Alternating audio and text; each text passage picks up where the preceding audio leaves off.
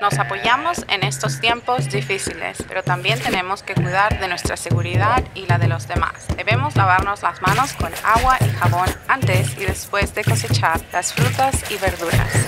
Al venir al mercado debes llevar una mascarilla o pañuelo que cubra nariz y boca.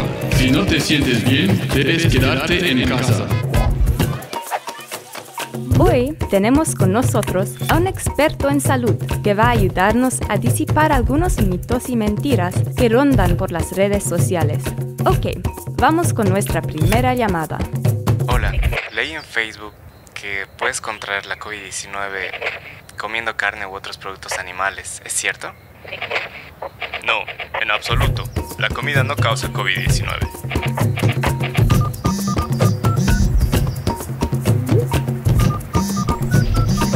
Hemos de respetar la distancia de seguridad y no debemos olvidar agradecer a los productores y comercializadores de alimentos. Gracias a ellos, la comida no falta en ninguna casa.